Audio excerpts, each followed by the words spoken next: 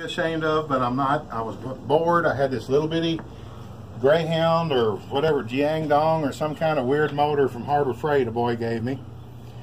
And I had a Chinese dung bicycle. They ain't worth a damn. It's a Huffy and it's super thin metal. You can't hardly do no welding on them without blowing holes in them with my welder anyway. So, uh, like all the front wheel ones that I've got, the motor's offset over to the left. It hinges on this C-shaped bracket here through the fork. The stiffener bracket goes down and it actually isn't hooked to the axle slot like some of them are. I, the metal was shorter and I made do with what I had so I just welded it to the tube. But the clutch action, up here I've made a twist grip thing with a locking device. When you're ready to go, you lock it down. When you come to a stop sign, you push this and pull the lever up. It holds the bicycle stunt peg off of the tire.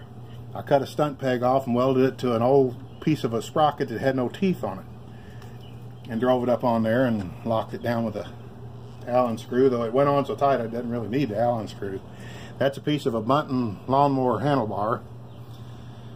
Uh, all my linkages uh, tied in pretty well. If you watch the workings of them if you need more tension on the tire you just loosen the handlebars and push them down a little bit, kicks this out a little bit and puts a little bit more tension on the tire. But as long as it's got lots of air in it, you don't want it to squash in too hard because years ago I had a tire blow out from busting the cords up in it while I was on it. I was a young kid. I've been making these things since I was 12 or 13. I'm 62 now, so I bet you I've made, I've got 17 here in the basement now. And I bet in my time I've tore up 30 of them. you and me tell we've made a shitload of them. But I've, I guess the older I get, I want to hang on to some of this stuff just because it's like uh, my 10 seconds of fame, something to brag on. Like my mom said, you got your name in the paper and it wasn't in the arrest column, so you're doing good. So uh, that's fun. Oh yeah, something else is kind of interesting. I didn't have a way to fasten. Uh, this is actually a stiff cable off a lawnmower and a brake lever off a BMX bike, I believe.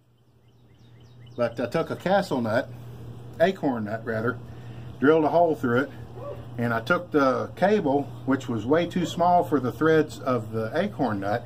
I put two pairs of vice grips on it and turned them counterclockwise, which swells the thread out. If you wrap a spring tighter, it gets in smaller. If you unwrap it, it gets fatter. So I wrapped it out enough to, to make it screw into the threads in the acorn nut, and my throttle runs right down through the center of it. just got it clamped to the exhaust. That's why I used the metal sheathing because the rubber one would have been a melted up mess. And I was anxious to get it to test it and see how it was going to do, and it's been pretty trouble free. And surprisingly, it'll pull my, I weigh 290, and it'll pull me around pretty decent. You have to help up hills, but when I did it, I thought this is a, this is just to say I've got 17 of them. This is going to be a piece of crap, but really, it's it's not too bad. I was proud of my clutch linkage more than anything that little thumb thing that I pushed to unlock it is actually a lift lug off a Briggs & Stratton motor, a, a, a two-cylinder that I guess they got to come along or something at the factory. That was bolted to one of the head bolts. And this was just some kind of bracket off of the same Bunton that that exhaust pipe came off of. Did a little drilling, welded a wedge to it so that when it when it does engage, you can lock it in and the motor isn't flopping up and down. But uh, out of the 17, there's probably this one, the big Wade Made Motorized Mayhem, and that's what the lookie's up under. Wade Made Motorized Mayhem on YouTube. There's out of 17 of them, there's about five that are worthy of getting out and going. All the rest of them are full of varnish or the tires are rotted off of them where the cords are sticking out of them, the tubes are laying on the ground. This old front wheel drive runs perfect. We get it out and run it every now and then. It sits down on a tire, makes a squealing noise. It sounds like the tire's squealing on the ground, but it's actually the exhaust pipe roller squealing on the tire until it gets locked in. Uh, and it's the same deal. It hinges on a U-shaped. It's damn near the same setup as that one out there, just it's an old early, not real early, I think it's a 67 model Briggs & Stratton Edger motor. the badass one is this one back here that's got a Jacobsen two cycle. And did have a derailleur at one time where you could click off five gears. It wasn't it shouldn't have been made, but I ain't right. I thought it would be something something cool and I could go fast, but I think back in them days I was still imbibing in herbal things and I got to thinking about it and I thought, you know, a little skinny tire and my thin skin, if I hit the pavement, I'm going to file off like a pencil eraser. So I detuned it to its one lowest gear, and it's been that way ever since. It ain't even ran in, well, I've been here 35 years. It ain't been ran in 30 years, probably. But it would, especially if somebody told me it wouldn't. I could clean the carburetor and have it running before supper time. But the other video shows all of them. It doesn't get a view of all my motors, though, because uh, we were just that was the very first video and I didn't know what the heck I'm doing still don't. But I've got on the shelf got a 7s Briggs 7s uh, Clinton no a Lauson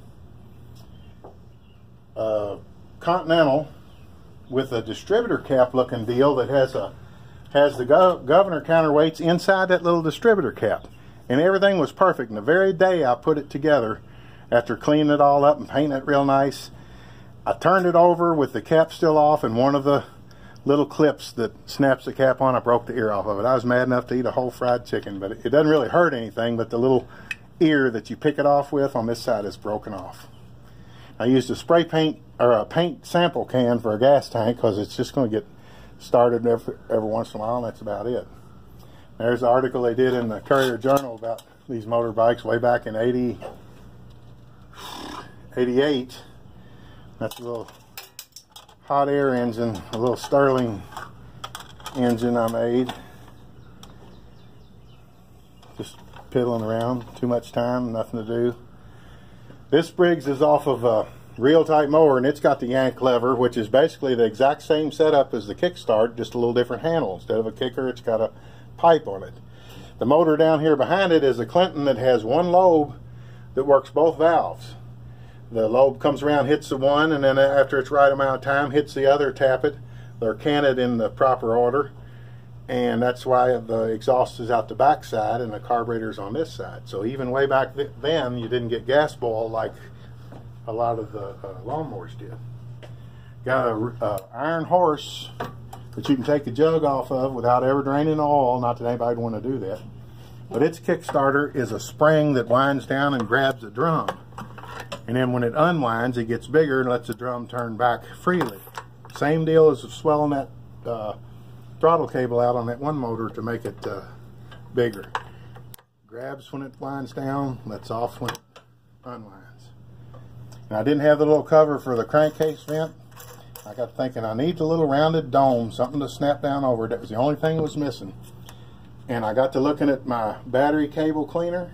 I thought, hmm, they're only about two or three bucks. I just cut the lid off of it. So I took a tubing cutter, cut the lid off the ba battery terminal cleaner, and snapped her down on there, and you can't tell it from the original. Uh, Briggs and Stratton up there, I said something about on one of the other videos. It runs. It originally was at Cave Hill Cemetery here in Louisville on a reel type mower with wooden handlebars. Yeah, I got it from an old man. Uh, I want to say Harlan, but that wasn't his name. He had a shop down in Buechel, right by the railroad tracks on Old Bardstown Road. Harlan Smith or something Smith. Harlan don't sound right. But anyway, he had a repair shop years ago and he put this th thing out beside his house. Water went down the valve guides since they're exposed and rotted the valves down about half the diameter they're supposed to be. So rather than to try to build them up with brass, I took some 7S Briggs & Stratton valves that were longer and had pins that went through them to secure them chucked them up in a drill because I didn't own a lathe and cut grooves in them for the uh, keeper type uh, fasteners on the valves and put the original keepers on 7S valves, shorten them down to the right length. All shade tree, but pretty darn good. You can't look at them and tell them from the originals, except the originals were rusted down to about the size of a coat hanger. It would run if I get the varnish out of it. That's about it. That's about it.